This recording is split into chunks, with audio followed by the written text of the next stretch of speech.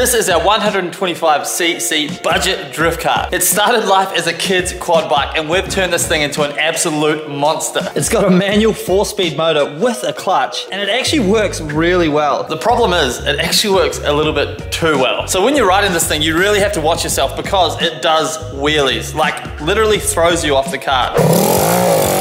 Ah! My good friend Bailey is here and he knows firsthand how insane this thing is. I've ridden this thing once and it tried to throw me off the back of it. So due to popular demand in the comment section, today we're going to install wheelie bars on this thing. How hard could it be? I've never installed wheelie bars on anything before, so I have absolutely no idea. We also have really no plan for this, but what we do have is this skateboard right here sitting on the wall. So we're gonna steal some wheels off this thing. We're gonna make some wheelie bars, put them on the back, and see if we can't do some crazy wheelies on this thing.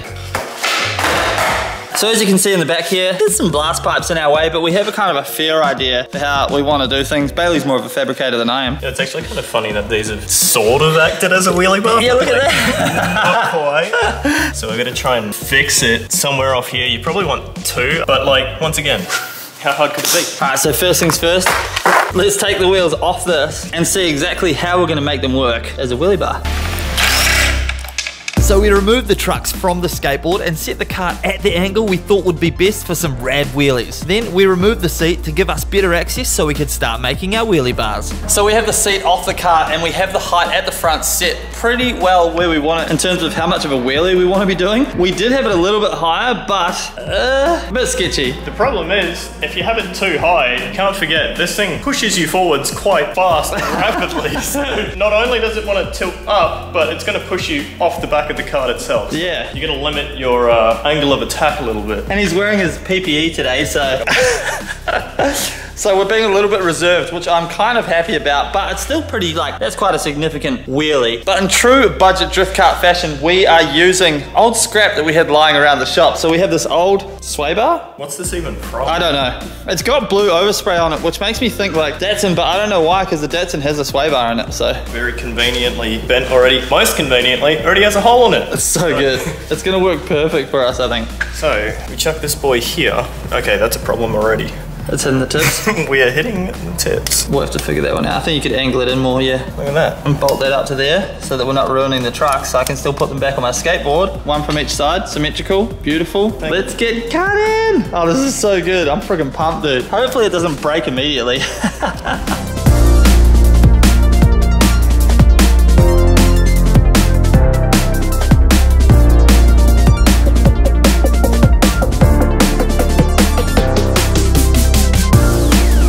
So shout out to our random sway bar because this is actually gonna look so profesh. Look at that, nice symmetrical shape, something like that. So we're just gonna weld, boom, along here and we'll also weld to the seat back here for some extra bracing. And then this guy, literally just gonna bolt on. Way simpler than I thought it would be, which is sweet. By the way, I know a bunch of you guys are wondering, are we gonna turbo it? Yes, we are. The turbo stuff's on its way, but we've been super busy on the channel. Of course, we're building the Barnfind R32 Skyline, but even that has been put on hold this week because I'm finishing off the E36 competition car. It doesn't look like much at the moment, but I've been putting in a buttload of effort behind the scenes in this thing. That video should hopefully drop later this week, and then there'll be another Skyline video coming, and of course the turbo drift kart video will follow at some point, so there's a massive amount of content coming, but back to our drift kart. So, sway bars are almost, well, they're ready to be welded on. I cannot wait, dude. It's gonna be awesome. I'm freaking definitely scared.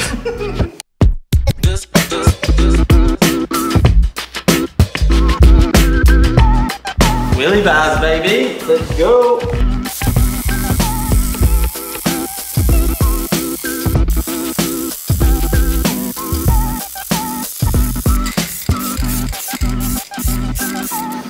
Squirts. And just like that, our wheelie bars are finished. And that was actually way easier than expected, which I'm kind of thankful for because it's like 35 degrees in the shop here today. We're sweating. Your muscles are looking big though, son. Let's go. Jesus Christ, bro. So the wheelie bars are done. We don't quite know, like we didn't really think it through a lot. It looks pretty cool, but we've realized maybe they're slightly too short. Who's going first is the question. One, two, three. That means you go first? Like I'm punished now. R.I.P. so we are ready for the first try of our wheelie bars. I'm kind of nervous for Bailey, I'm not gonna lie.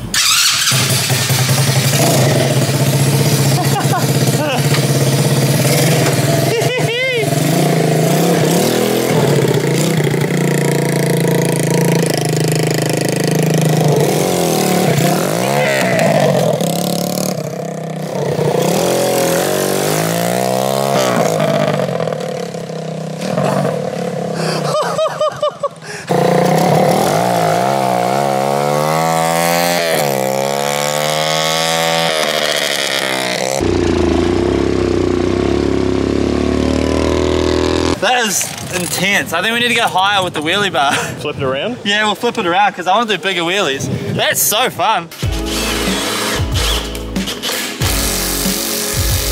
So we have raised the wheelie bars. Bailey has given up on the idea of driving the cart after his near-death experience. So I'm gonna jump on and give this a red hot crack. This thing is just sketchy from the get-go. So yeah, wish me luck.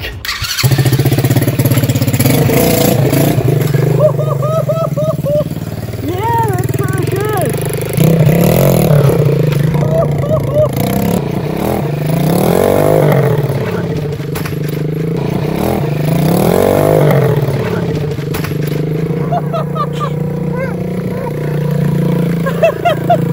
It's a bit too aggressive.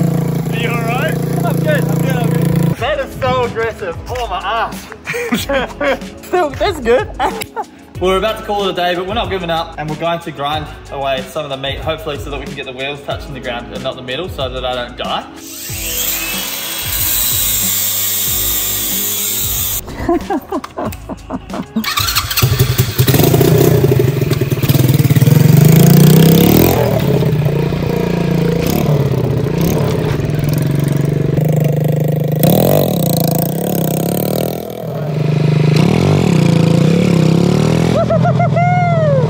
Yes!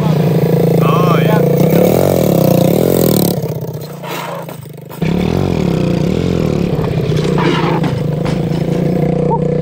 I did it again. Weirdly enough, I haven't hurt myself at all doing it yet. Well, that was somewhat of a success. I definitely sacrificed my body for this video, but we actually figured out the reason that I kept falling off the cart essentially. Do you want to explain to us, Bailey? One of the many reasons. Yes, there are more than one. This doesn't exactly stay straight. Just because it's bolted in the middle, it acts as a pivot point. So Yeah. if you apply enough weight to it, this can shift and move. As So you can see by the fact that it is moves right now, and that's why I fell off. So essentially that acts as a rudder. Yeah, it'll steer you Yes. kind of randomly. Yeah, it didn't work too well. It does have a lock stop, very Yeah. handily. yeah, otherwise it would have gone even more south. So the improvement that we will do at some point on this is straighten this up and then have a plate in here so that that sits in like the plate. So it's like always centered, you can't move basically. I did get one wheelie and that was really good. That was pretty well controlled and I think that's before this back rudder thing moved. It's actually pretty controllable when it's right, but when it's wrong, it's so bad. Definitely a lot of fun, sketchy as hell, but thank you to everyone who suggested we put wheelie bars on this thing. Of course, next we do need to change the aspiration of this to turbocharged at some point, but for now, that is a wrap on this video. I'm going to edit this in my editing studio so that I can have this out for you guys tonight. We've got so many things going on on the channel, like I said, I cannot wait to release more videos, but for now, I'm going straight back into finishing the 2024 Autobahn E36. Thank you guys so much for watching. Hit us in the comments. You're always welcome to give us feedback and suggestions for how we can make this wheelie bar setup better or the go-kart in general. Thank you guys. I'll see you in the next video. Pew! Peace. Thanks, Bailey. What? Up there you are. Thank you. Adios. Bye.